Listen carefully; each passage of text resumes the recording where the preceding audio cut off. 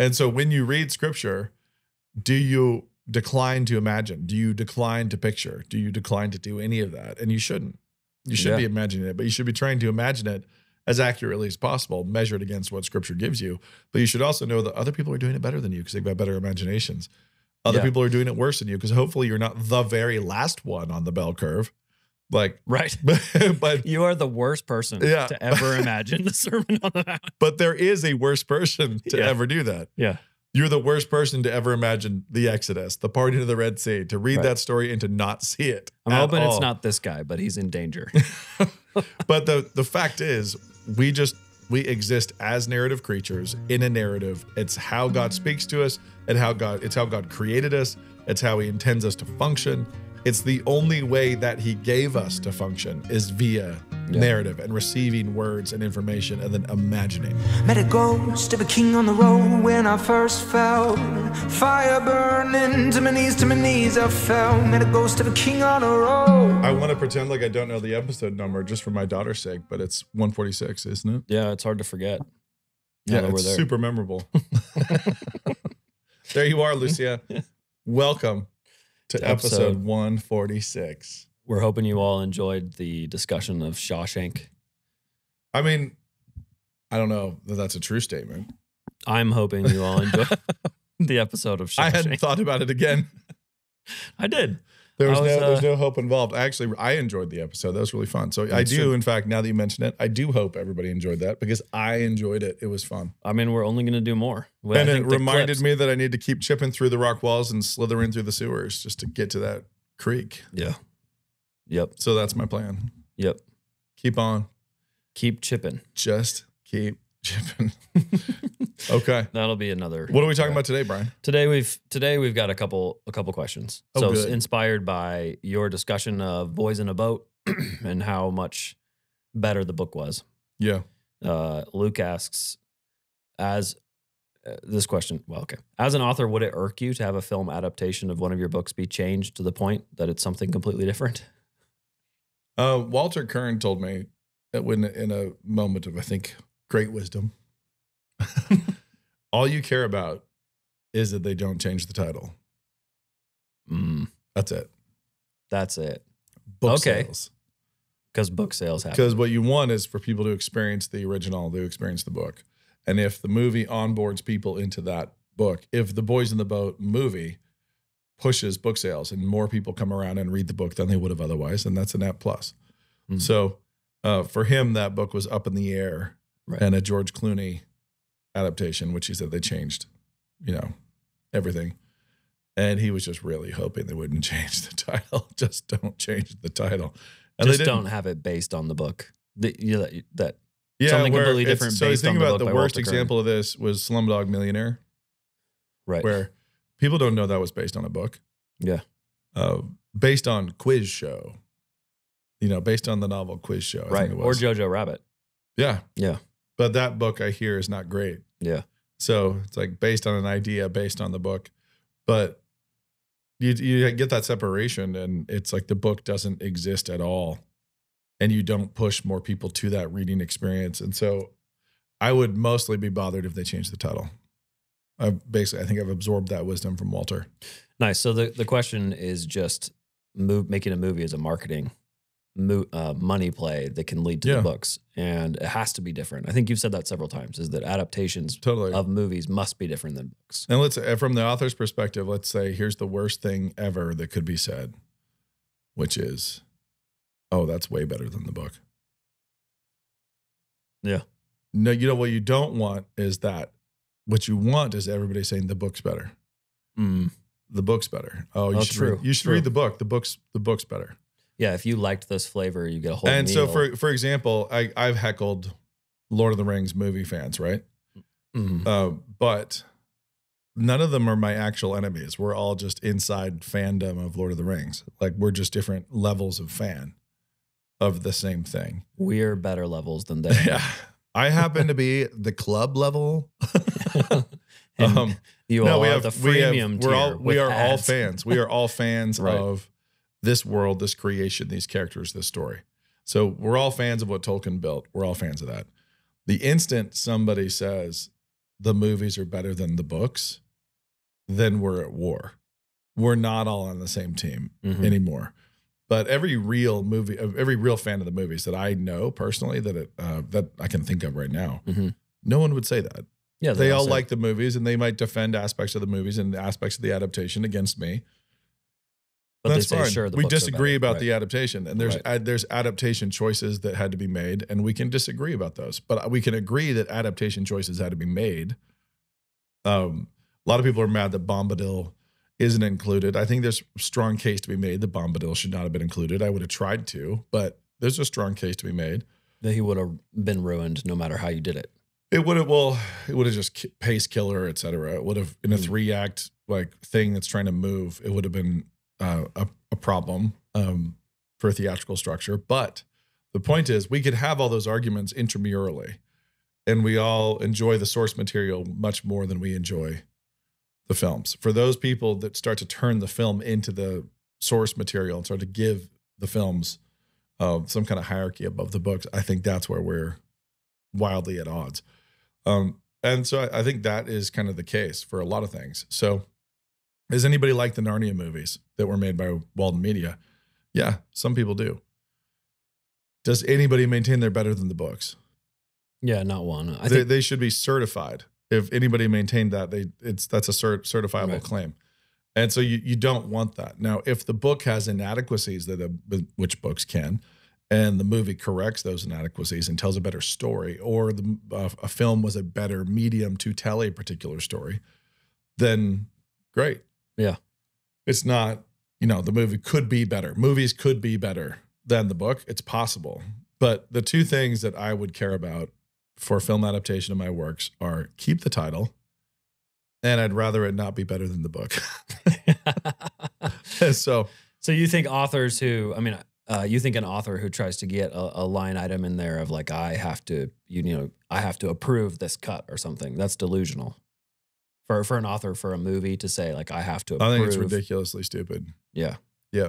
Because you think authors are a different world, or is that authors are a different world? Movie people know their business, or at least are different enough that you're not worried that, say, someone produces a version of Dragon's Tooth that kind of stinks. I would want it to be good. Yeah. Okay, so you I would want it to be good, but if it was like, eh, you know, it was, you know, a B plus, it's still a massive net positive Mhm. uh, in terms of driving book sales and readership and fandom and all that kind of stuff. Yeah. So it would be, I mean, I, th- I think I've had one, 100 cupboards has been all over the place. Mhm. You know, it's been at Disney uh, twice, like eight years apart. you know, it's and when you say it's been there, you mean it's been talked about. meaning There I've I've received checks Gotcha. like where it's like okay, so Option- I'm receiving optioning stuff. optioned, extended options, et cetera. Like Right, I've, right. they're paying, they're keeping my lights on. Uh, over at Amazon, you know, it's been Mm-hmm. it's been over here and over there and over there. You know, it's been with Amblin and it's been with Disney uh, Studios proper. It's been with producers that have deals at Disney. It's been uh, with Disney Plus. So one was pre Disney Plus, Disney, Disney theatrical, uh, and then also Disney Plus. It might still be with Disney. It could still end up with Disney. right. Um, and in all of this, what I've learned is, dude, it'd be great. It'd be great if somebody wanted to actually make this movie. I mean, like op- optioning so you're not sitting there being like, here are the obstacles the director must jump over in order to make this movie for me and make me No. happy. You're just like, what can I, do to let's grease the let's skids? let's not let's not uh, tell lies here. I am a total problem when it comes to um, the adaptation and like their perspective and what they want to do. And there's, you know, back when Cupboards was released, there was plenty of marginalia from editors that were con- concerned about gender roles and you know, and not being traditional Americana and being more subversive. And how do we do this? Um, but at the same time, so basically there'd be plenty for me to fight about. Uh, but at the same time, I want I want the show made, and so I'm less concerned about will the cinematography be Roger Deakins level. I'm not going to get all precious about this needs to be amazing and just be like, is it going to be fun? Yeah. Could we make this fun? right. Like if we hit this is fun, I'd be thrilled. Yeah.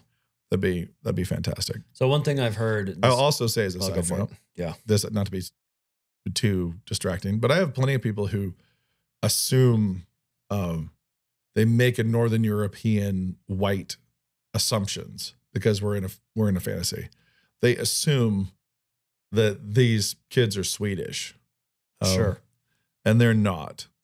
Yeah. you know, it's like that's and so it's also really funny that if I'm talking to Disney and I'm like, hey, actually, it'd be great if like me creatively, totally apart from any woke Mhm. anything, any of the leftist movements. It would be funny for me to be in a position of saying, "Hey, can we push? Can we, you know, can we push them darker? Can we not have a blonde? Can we have, Right. you know, I want these this kid's from another world. He's from another world, and in my head, there's very specific backstory, lineage. I'm like- trying to remember your description people of the groups. city. It's more like Turkey or old Spain. and so right? Frank Yeah. and Henry are not from here. They're not. Yeah. You know, they're they're not descended from Germans. Um, it's a very different thing, and so it's it's funny to have that. And I know that if I were pushing that and that came out, I know there'd be fans being like, "Hey, they're doing the Little Mermaid things like Yeah. The woke thing. yeah, it's not, and that would not be the case. It'd just be trying to get people to think outside of their assumptions about different worlds and all you know alternate places. And so when you get over to where he's from, you know, in Hylfing and uh, and where he originated, uh, it's not, you know, it's not Swedish. It's not Northern Yeah. European that way. Anyway, back to your point. Well, my question was in her Saving Leonardo book, Nancy Pearcey starts off with a story of how Hank the Cowdog, the show, totally nuked the traditional family, you know, made Sally, you know, removed the dad from the situation and made Right. Sally kind of the farm the the the farm owner. And um she uses that as a sign of how Christians get worked in in popular entertainment. But um, from what I'm hearing, you're saying there may be another side to this. That perhaps part of the immense popularity of Hank the Cowdog, the fact that there are 60 books, is because there is a TV show. Yeah. And that if he'd thrown down and said, no, no, there's got to be traditional family, nothing would have happened. There wouldn't have been a show and so on. Interesting.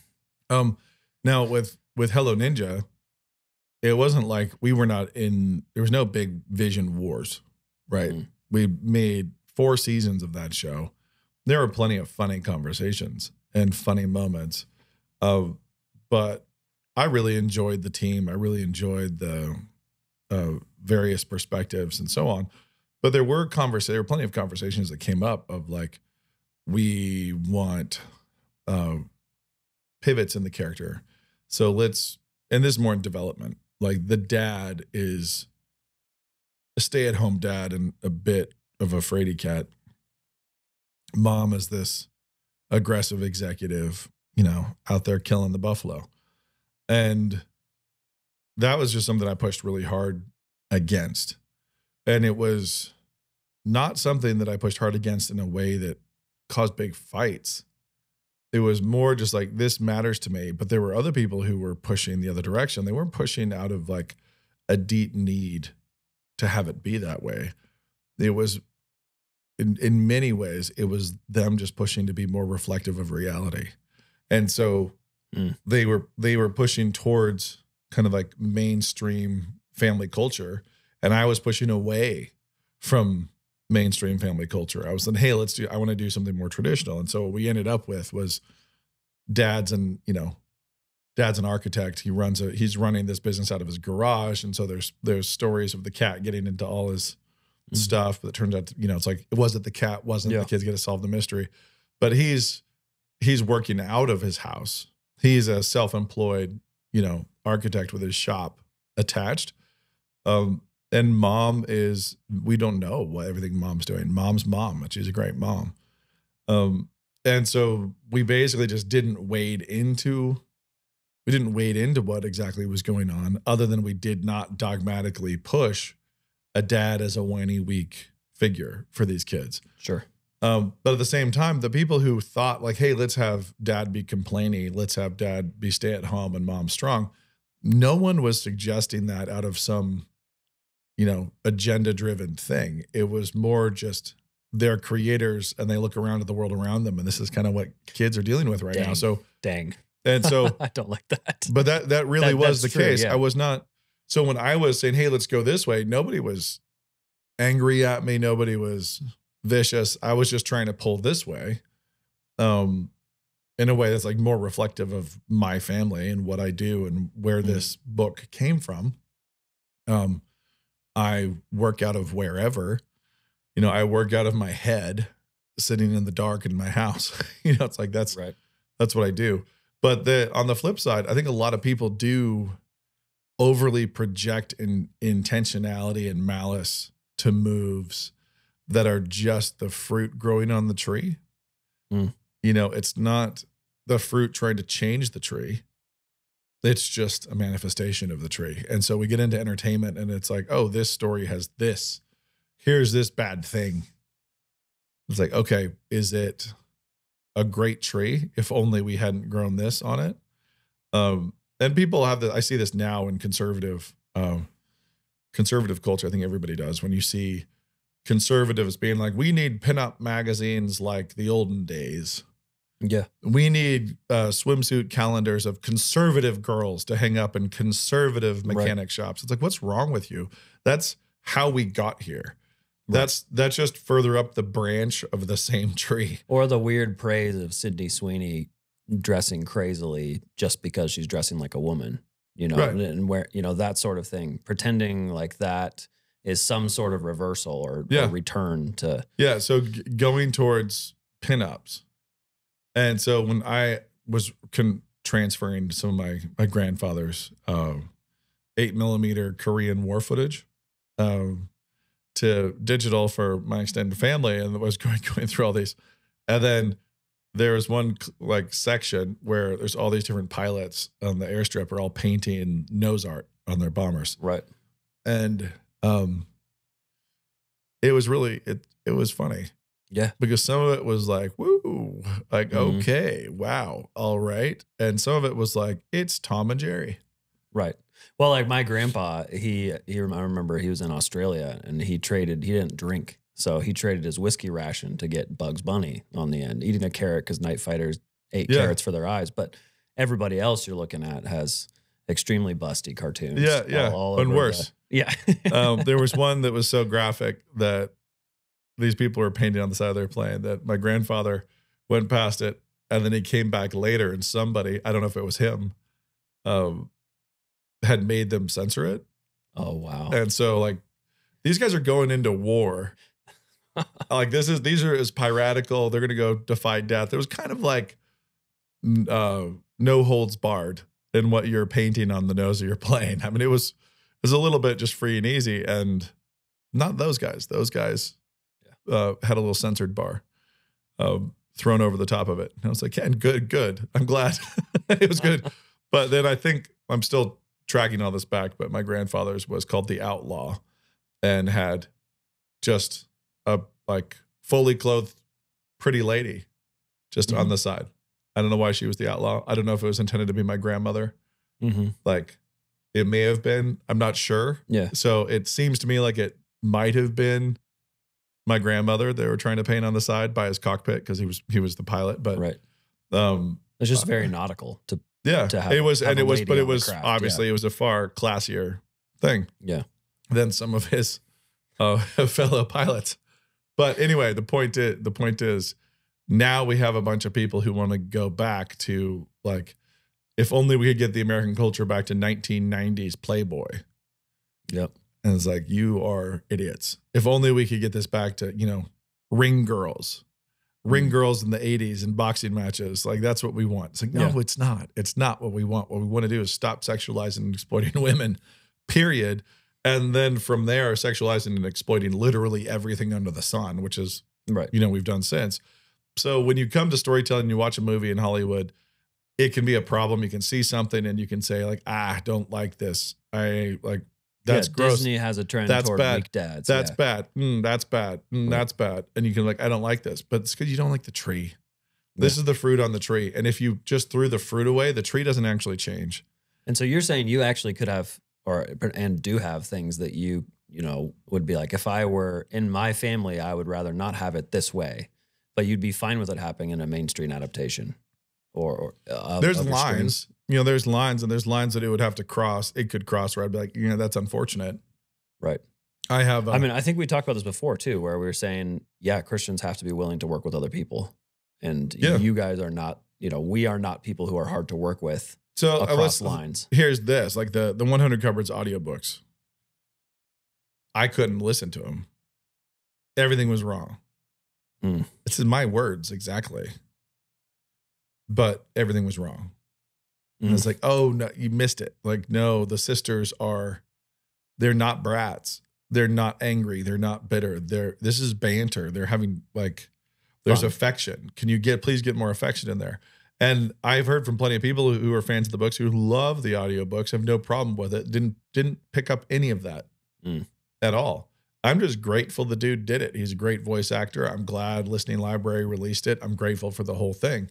But i didn't actually listen or go through it because it all i could hear was that's incorrect. That's not that's i was just directing. Mm. um which is not you know not the best not great.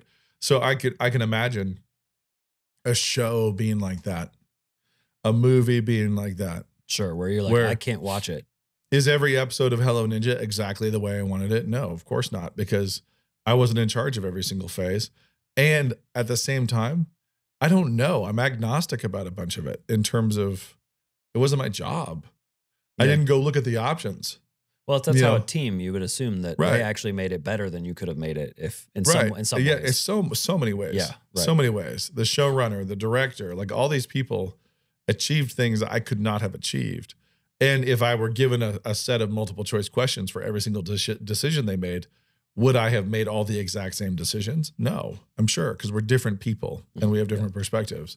So I was thrilled with Hello Ninja, and the points of conflict that we had were there was one where I I dropped the ball. I missed stuff for a while. They I I had, I had like a a couple opportunities. I could have caught it earlier. I delegated ineffectively. And then I circled back around and was like, wait, why are they praying to their ancestors? Why are the kids okay. doing an ancestor worship thing? How did this happen? When did this happen? Like, where did this go? And I went back a couple iterations and it, like, I just missed it. Mhm. And so I kind of like I talked to the everybody executing. It's like I just don't want this. I don't want this. Like we got to not have this. And that was a screw up because it cost the production more money because I mm-hmm. missed it early. But nobody like it was fine. I mean, this was my show. Yeah. So Right. I had the ability to say we're not doing. Yeah. You know, we're not doing that. Let's not do that. Then I knew that I was putting everybody out. It was a problem that I was doing this at the phase of in you know where we were. We were all the way into animatic, and I, I missed it in script. Uh, I'd missed it in the boards. So because I'd handed that off, I'd handed that review off elsewhere, and then had not delegated effectively. Um, by the time I caught up, it, it caused this disruption in that episode, and we had to Mm. uh, we had to eat some cost to change it.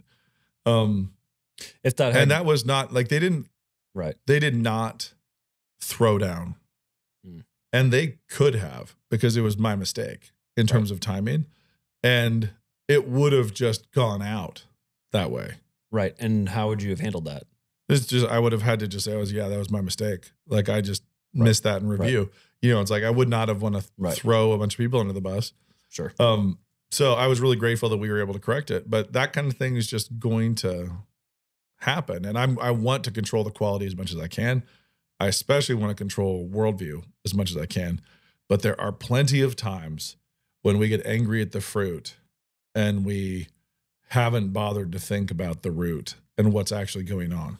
Mm. Um, so it's and yeah, it's cyclical because you you you should get bothered by a lot of it. The weak dad thing. You should Mhm. not want to do that. You should not want to reinforce that because it does kind of cyclically come back around and catechize the kids that this is normal, and this is expected, and hmm and then it continues to produce more of that story, that type of story, and it just kind of revolves. Right. But it's not always, you know, it's not. In fact, frequently, it's not malicious at all. It's just an outworking of the tree that exists that is our culture. Mhm. So it's like there it is. We need we need to go further back if we're gonna Gotcha. if we're gonna change it. Uh, following up on this one, another question. or observation. Uh, Gavin Ortlund had tweeted an interesting observation about fiction and it said, What work of fiction changed your worldview the most? His is Till We Have Faces, um, which, Weird. Okay. which we've done an episode on. But then another pastor followed up and said, None. No work of fiction should ever change our worldview. As a Christian, my worldview is shaped by scripture alone. And it caused a bit of a thought I'd just get Nate's hot take on should we be shaped by till we have faces or shaped by scripture alone? the I think I think you know the answer, Brian. That's called Um, a, that's called a bifurcation where you separate into two unacceptable options Yeah. and force Nate to say something that you can then clip and put on the Perfect. Perfection. Um, to kick against fiction is just, I don't even know how people start. I don't know. Like, there's a lot of positions I can assume the devil's advocate position and try to defend, but that one is just not, it's just not defensible at any level. So, and, and most specifically, it's kind of like kicking against Psalms say we should never ever be affected by psalms that's like you do know that there's psalms in the bible right Yeah. Um kicking against storytelling and fiction. It's like you do realize there's a lot of fiction. In the Bible. there's a lot of fiction in the bible. There's a lot of stories told in scripture. Hmm and apparently they don't. Apparently they don't know that. Yeah, there's that weird category between, oh, this is a parable. I have a, a Bible name for it, so it doesn't count as a story. Or, and, also to me, just the delusion that you could only be shaped by Scripture alone. Like that, there's this category of right here, i don't I, don't exist in culture at yeah, all like I Yeah. grew up, I grew up never being told a story without the family I am. In fact, I'm just this until the Bible was inserted into me. You know, I I acted completely neutral. I never played Cowboys and Indians in the backyard. I never did any imagining. I never did any of that ever. Mm. Uh, is ludicrous. So yeah, we will we will be shaped by self narrative. We'll be shaped by stories parents tell us. We'll be shaped by stories we're told about our grandparents, which are in fact abbreviations and adaptations. And in fact, Uh, sometimes outright falsehoods. yeah, yeah. later. Yeah, and we're going to be shaped by those things, and just that's how it is. Yeah. So let's put it this way: if if a guy like that found out on the last day that the Book of Job was literature only, Mm. if he found out that that was fiction, his whole worldview would get rocked and shaken because for him, fiction by definition cannot be true. right. For me, fiction can be true. So if I found out that Job was fiction, I would be surprised. Right. You were looking forward to talking with Joe. Yeah, I would be. I would be surprised, uh, and at the same time, my worldview would not shake. Also, I would wonder how I missed that. I would. I would. Because I, I don't think it is. Right. Like, you know, you'd not, also be looking for the novelist. yeah. You'd be like, who, Like, who who's- wrote, okay, okay, who's- who wrote this? Because where who wrote the story and this is now the earliest version of written fiction ever anywhere so Yeah. you know it's it's momentous in a different in a different way but the truth of it the truth of the book of job is not is not in dispute Mhm. and so he would be the one more likely to lose his faith after a discovery like that and i would be just surprised that i'd been so wrong you know where it's yeah, but I'd been wrong before. So it's not it's not that giant thing. No, I I happen to think that it's historical. It's literary and historical. Uh, I don't think this is like a whole cloth fictional narrative. I think it's a true narrative. The whole thing's true. It's all God breathed. Mhm. You know, Second Timothy three sixteen, all that. Yeah. Uh, and that does not preclude the, the fact it. that it could be a story. Now, just the same way that Christ told stories, that Nathan the prophet told a story to David. Yeah, I was going to bring up the Nathan the prophet. It made me wonder if this guy actually is is just glossing over his weakness in that he thinks fiction when he can see because like Nathan the prophet, he knows Yeah. he can find the truth of that story. He's like, Right. "Oh, I'm supposed to interpret it's it in this you, way." David. Yeah, it's you. I've got the code. And I think he's actually showing right there with his color that he, you know, he's showing the colors of, hey, I don't know how to interpret a story.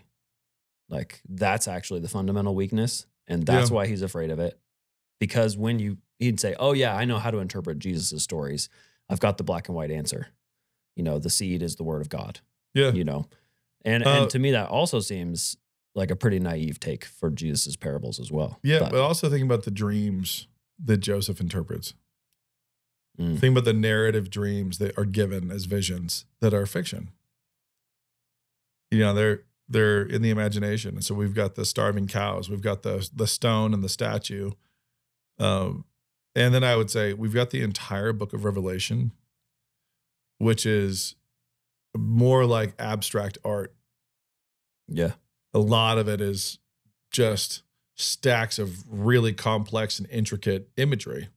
I mean, in his definition, it's not true. Right.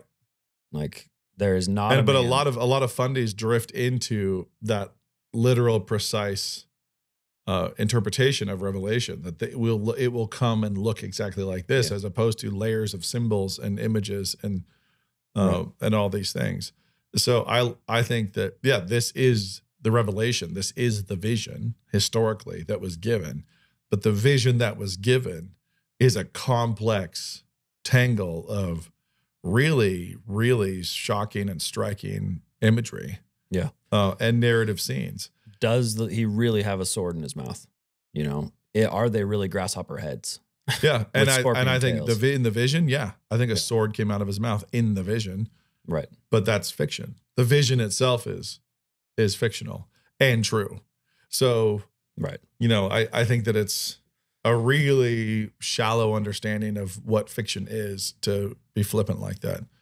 Um, if you said the same thing of vampire novels, I might be with you. You got really specific. But Yeah. uh, no vampire fiction should ever change our world. exactly, exactly. But nothing fictional, like nothing fiction. What do we mean? No fictional imagery. Nothing. Like is allegory okay? I mean, I think he means cre- like nothing creative. I these are people who view the Bible as a these are people who. Are, let's just say that. I'll I'll throw this out here. I tease people about this sometimes. I'm like, listen, get away from any kind of analytical philosophy. Get away from, uh, modernist thinking, and try to be more like Solomon. Just try to be Solomonic. Try to add, not remove. Stop trying to get to essences and minimalistic communication down to ones and zeros and add more, more context, more narrative, more flesh.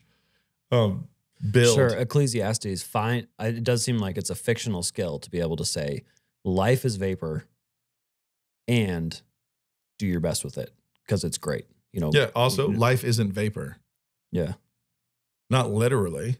Sure. Like that's a it's a that's a creative expression. It's metaphor, which is the act of fictionalizing. That is the work of the imagination. Mm. There to say life is vapor, to say God is a rock, is fiction, and it's true. Mhm. He is. He's more of a rock than a rock is. You Yeah. know, it's like it's Yeah. he's he's Christ is the way. He's a door. you know, right. um, and and so on. And there's this literalism and a a one to one, uh, extreme analytical impulse that varies in different personalities and different branches of Christendom that wants it to be math. They want it to be mathematical. They don't want it to be human and incarnational. Sure. I want to put the truths and falses underneath. They don't every want part any, of the yeah, but they also Yeah. don't want any part of a metaphor to be a fa- to be false. But every single metaphor has parts of it that are false. Mm. Like God is not uh, a rock. or a mother hen. Right. Yeah. Yeah. He's not, but apparently he is. Yeah. You know, it's like it's, but there's ways in which he isn't. So in that metaphor, there are ways in which God is not a rock. He's not granite. You know, he's not igneous. He's not sedimentary. He's not metamorphic. You know, it's like it's these are things he isn't, but he is a rock. Mhm. Metaphorically speaking, that's a true statement. Christ is not a door, but he is more profoundly a door than doors are. Yeah. Um, and it's there's but there's so many ways he doesn't have hinges. He doesn't have a knob. It's like there's right. there's all these ways in which he's not a door. Metaphors always fail they're always works of fiction and they're always works of fiction in microcosm, but they also always communicate the truth to some greater or lesser degree, depending on how skillful the creator is in communicating. So uh, Solomon's quite skillful. And he's talking about flesh is grass and life is vapor and Mhm. and all that kind of stuff. It's all creative writing. That's creative writing. Yeah, that powerful section at the end of Ecclesiastes when he talks about dying, you know, Yeah. when the grinders Yep. cease from I don't remember what he says, but I, I I should memorize it. It's one of those things where you just you do feel Solomon in full flow as and again, we don't know that Solomon wrote it. Maybe we'll find out. Yeah. Pretty sure he did. Uh, pretty sure he did, but we'll see. Yeah. And the it's it's interesting. So to try to assert that about fiction generally is to misunderstand the way human beings function. The fact that we are characters inside of a story and that our medium is narrative, it is fiction. That you cannot, and here's here's something for you. When you see when you see things, when you hear things, when you taste things, when you feel things, you have senses, which for us means you have contact or supposed contact with something that is distilled down into words, electrical communication, which is then sent to your imagination and read. And then you picture it. And then you imagine the smell of it hmm like you receive the information via electrical signals via flesh cables Yeah. and then you conjure up the image Right. and so every single thing about how we exist and how we function it's all narrative it's all story all of it Sure. So you're saying you're you're kind of pushing on what the philosophers have argued about. Like our eyes are not actually capturing what is out there. That distinction between what's out no there. they are Or, but or- actually capturing them sure. means receiving the light signals distilling it down and sending electrical signals to your brain right Right. So those electrical, the way we are biologically made is that we send electrical signals to the brain, which receives the electrical signals and then follows the instructions. Yeah. You know, like, and then conjures up a rendering Mhm. in your mind. But it's not the thing. Yeah. It's the rendering in your mind. Yeah. And, it's intricate, it's amazing, it's phenomenal, it's miraculous. I love it. And yet it is also still, even inside your own biology, breaking down to narrative that is read and interpreted. Like just inside receiving any of your impulses and then like drawing conclusions based on that. Oh, that's that's kind of how it breaks down. And it's super cool and it's way more complicated, way more complex than that. But at the same time, we we live in stories. We are running around between the lines on the page. This is this the water in which we swim. This is how it works. We're meant to do this. Yeah. We're meant to read the gospels and picture a scene. And because we're not relativists, there's a whole bunch of well, there's a big giant bell curve of all of humanity who've ever read the Sermon on the Mount and pictured it. Yeah. And there's a bell curve of accuracy. yeah, nearer and farther from how Yeah. it was. How many people actually got pretty close to picturing it Right. the way it was, and how many people We're on the saw Ben. a blonde Mormon Ben. standing we were, over Salt Lake we were City? just we just watched Ben Hur and we're marveling. You know, they don't show Jesus' face ever, but they do show his beautifully combed hair. the Sermon on the Mount. Yeah. So are you are you on the Ben Hur scale? yeah, where are where are you? And so when you read scripture, do you decline to imagine? Do you decline to picture? Do you decline to do any of that? And you shouldn't. You should Yeah. be imagining it, but you should be trying to imagine it as accurately as possible, measured against what scripture gives you. But you should also know that other people are doing it better than you because they've got better imaginations. Other Yeah. people are doing it worse than you because hopefully you're not the very last one on the bell curve. Like, Right. but You are the worst person Yeah. to ever imagine the Sermon on the Mount. but there is a worse person to Yeah. ever do that. Yeah. You're the worst person to ever imagine the Exodus, the parting of the Red Sea, to read Right. that story and to not see it. I'm hoping it's not this guy, but he's in danger. But the the fact is, we just We exist as narrative creatures in a narrative. It's how God speaks to us and how God it's how God created us. It's how he intends us to function. It's the only way that he gave us to function is via Yeah. narrative and receiving words and information and then imagining. Yeah, our family was noticing all the differences in how the different gospels tell the Easter story. Right. Like which details are focused on. Like, does he say both? You know, and, and you're harmonizing it so that it's not contradictory, but like, are both thieves yelling at Jesus or just one thief? The answer has to be both. And then one repented, right? Because one of them was like, Yeah, I want mockers and I want a repenting, you Mhm. know, and one's like, I want to focus on repentance. And then same thing with how many donkeys were there? You know, is there a mom donkey and a baby donkey? And I saw an interesting, fascinating thing about how they would actually probably bring a mother donkey alongside the baby donkey that's never been rode, never been ridden, rode. There's my Southern Idaho coming out. Um, No. into Rodent. the city. Yeah, never been because, you know, just all those details are highlighting different gospel Or or or or was it a mule? I guess I don't know. What are the limits? Where where like how accurate is our conception? Yeah. That's actually you true. know, right. what what did this look like? And the thing is funny is you see you see the kings riding the aristocrats riding on mules, the kings, you know, earlier in the Old Testament. Right. And it's like, was this a step further, like coming in on a donkey? Yeah. Um, and it's it's really, but how do you picture it? How do you and I the way people picture Palm Sunday, the way people picture Sure. the trial, we all picture all these things. And or is the crowd the same crowd? I remember your dad saying that too, of just like, is the crowd that cheered him the crowd that then yeah, condemned him? And your dad was arguing from a lot of narrative, like, no, these are separate crowds. but the blocking, the the actual blocking in the scene with Pilate would also be really interesting. Meaning, like, where is Pilate sitting? What is his body language? What's his posture? Where does he move? Where's when he washes his hands? Where does he go? What's Yep. going on? Is he turning his back to Christ? What is what is what is he doing? How is he Yeah. looking at him? Like, Yeah, it was Um, fascinating to watch Ben Hur do that. You know, watch Yeah, one you're of the but you greatest have to make directors with all those people just trying to set. Yep. And you got to make those choices. And God gives us what he gives us. And then we have to picture. But I talk about this. I probably talked about this in the podcast before, but I've hammered rhetoric students this way. I, I know I talked about this on the podcast, but I'm going to do it again. If I say Sam and Frodo were being chased by orcs down a hill. Yeah. It's like, okay, everybody, I want you to picture something. Picture Sam and Frodo being chased by orcs down a hill.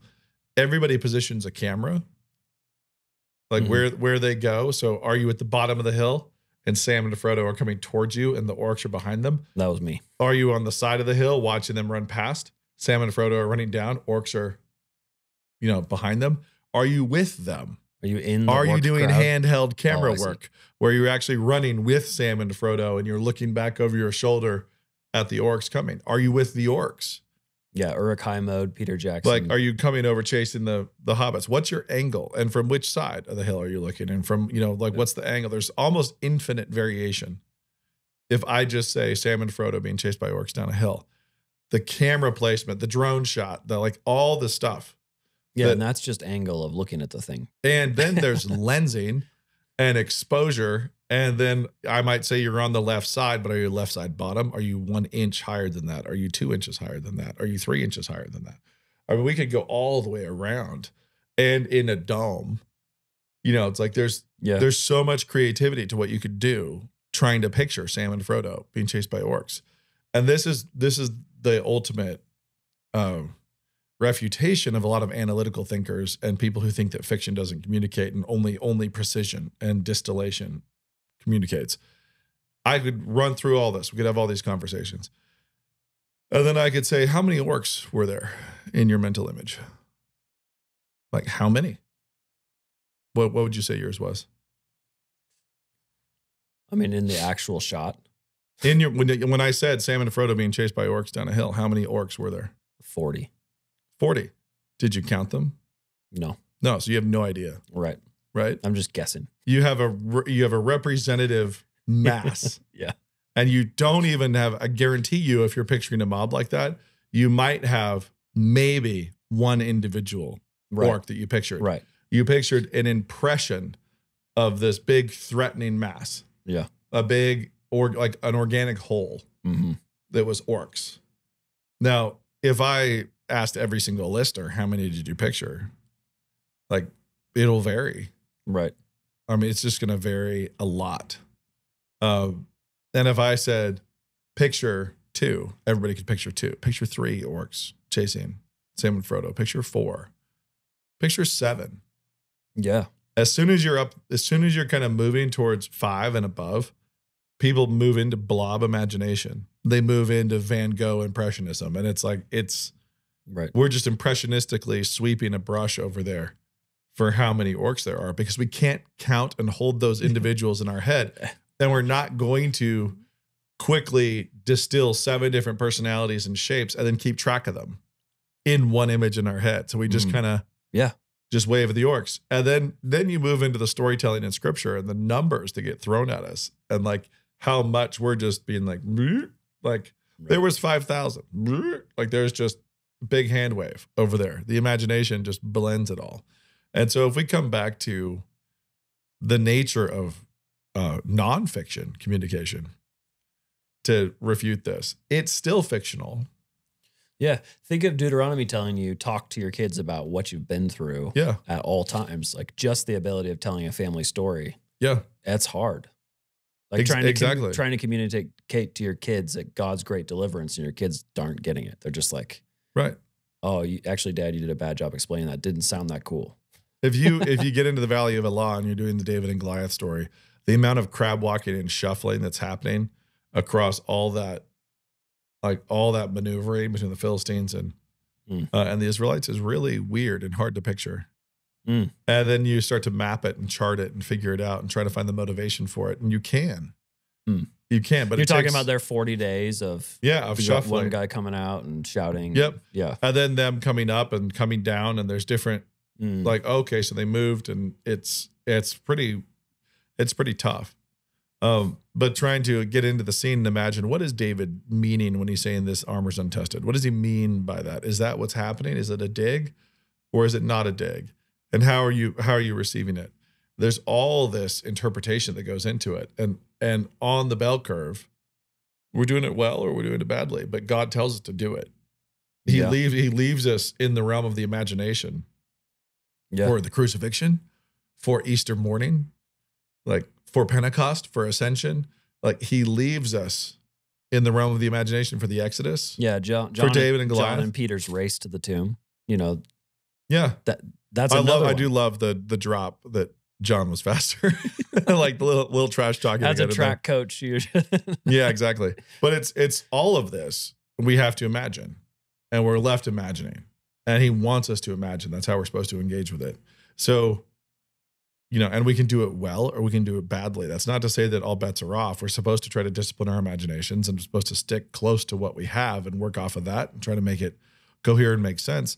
But if he gave us exact blueprints, if we had exact inspired blueprints and charts and topography maps, it would not be as potent Hmm. as engaging the imagination Hmm. with the story.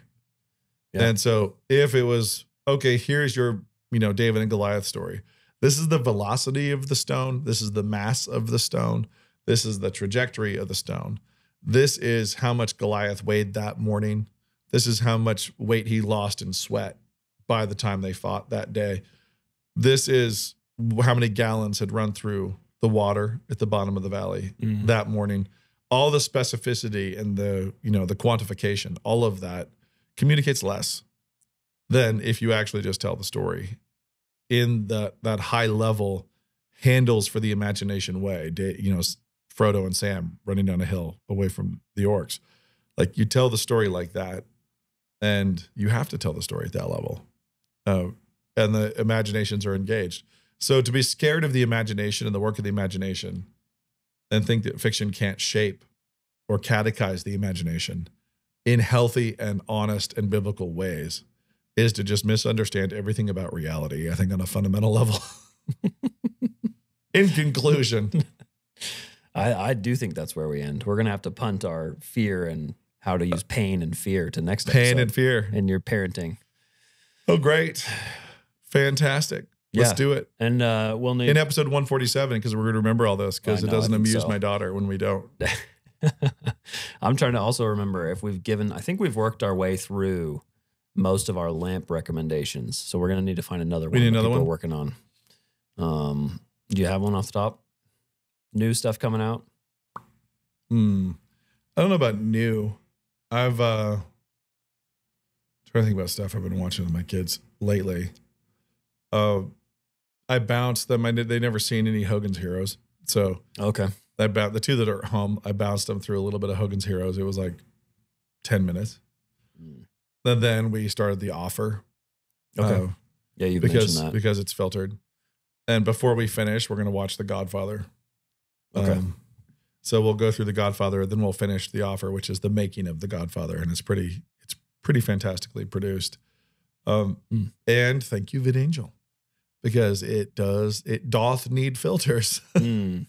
oh, doth it need it? Yes, it yes it do. um, and so yeah, at some point, man, we got to start making money on this podcast. We got to get some official sponsorships. I think so. So Sponsored by the VidAngel. Yeah, we can either be sponsored by VidAngel or ClearPlay. I do get messages, and I do have ClearPlay and VidAngel both because the libraries. Um, I have a lot of people ask me which one's better or what to use or how I use it. I use both Mm-hmm. because the libraries are different, Yeah. and um, I've found that the cost is worth it enough.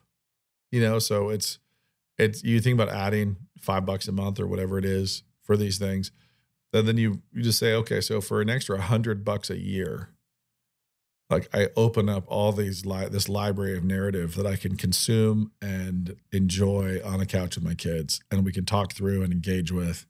It's it really is worth it to Mm. me. So there's there's a lot of things I would cut from my monthly budget before I would cut that. Yeah, that's good. Maybe we just need a new sad read section where we do an ad read. And add, no, no, no. But I might I might try for a filtering sponsorship. We'll see. There you go. O- Otherwise, we'll just be self sponsored continuously. Oh, that's good. I mean, I don't want to get in the corporate sponsorship game actually, but you know, maybe a sales commission for how, for how many people get get uh, filtering services because of us. I don't know. It'd be fun to know. I bet there's a lot. I Yeah. have it, you know. I mean, we're we're. I think I've it, had It VidAngel might help us. Maybe it helps us be just totally neutral and objective by not getting anything. Just know we receive no money from VidAngel or ClearPlay yet. We'll see. Okay, yeah, we got to do another lamp lamp pick soon, Mm-hmm. but we're gonna start doing that in a, it's entirely its own siloed brand. Mhm. We're gonna be moving lamp off to its own Yeah. to its own thing. So. Uh, On Canon Plus. Join on, CanonPlus.com. exclusively on Canon Plus. uh, so we're going to be creating the Looking at Moving Pictures Club as its own thing over on Yeah. uh, siloed over on Canon Plus. We'll still talk about it here, obviously, but Yeah. that's where the money's going to be. So that's where you should really drop your coin. right. Sponsor over there. We need Canon Plus to start filtering and throwing filtered content up. Mm, that's a good idea. There we go. I know who that. to ask. I'll put the feature Yeah, request. let's, let's do that. Alrighty. The end. Peace. Hey, Christian Dad. Are you paying a monthly fee to let Hollywood producers pump their septic tanks directly into your living room? Even worse, directly into your imagination and the imaginations of your children. How much darkness streams into your home every day, every week? Have you gotten too used to turning your mind off when you put your feet up? Have you invited your own enemies into your home? How much damage has already been done to you and to your family? My heart says that the way I feel most myself is to go by the name Fred. That's because I'm non binary. Canon Plus is building a global platform with one simple goal to create and deliver great content that will help Christian families grow stronger and more dangerous in the world. Content that will kick your brain's butt and help you bear down and step up. Content that will encourage, equip, educate, challenge, and inspire your family. Content built on the bedrock of real truth, real goodness, not fake trendy virtues How dare you! and real, lasting beauty. Your family might already be struggling. Maybe the man of the house has been sipping too much Bud Light Gospel in the basement for too long. It's day six of girlhood. but it's not too late. With thousands of audiobooks, podcasts, truth telling documentaries, and curriculum for all ages, Canon Plus wants to help you grow stronger together with your family. There might be enemies at the gates, but there's a feast on the table to strengthen you for the fight. We want the resources we produce to help you do the real work of cultural change, becoming a lighthouse in your own community, armed with courageous joy and a faith that burns hot and bright, especially when the world would rather keep you on a cute little dimmer switch. We don't have to wallow in the world's filth. Moonlight, Best Picture. You are gay. We don't need to let our strength atrophy like numbed victims of some ungodly matrix, leaving our families unprotected and vulnerable. It's time for Christian fathers to stop being such cultural cuckolds, well behaved Wonder Bread winners sitting by and paying for the world to assault their families with lies. Let's get strong and grow our families strong. Let's raise our kids to be the world's worst nightmares smart, secure, fearless, joyful, difficult to control, and quick to laugh at lies and nonsense. We're pushing back against the rising tide of sewage on our screens. We're pumping out antidotes to the world's poisons. But we can't do it alone. We need allies. You need allies. So consider this your invitation to join up and make things a little awkward for all our weaker brethren in church leadership It's not that we're against anything. who so badly want to be worldly cool kids. Help us build a streaming platform unlike any other, a platform that will challenge and strengthen Christians, mind, body, and soul, until this cultural tide begins to turn. She's dreaming about becoming the leader she knows she can be. And yes, this tide will turn. This ain't the Alamo. We're all gonna die, but we have no intention of losing.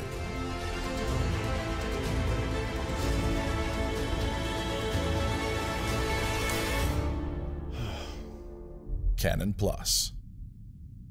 You don't have to subscribe, but you do have to stop sucking.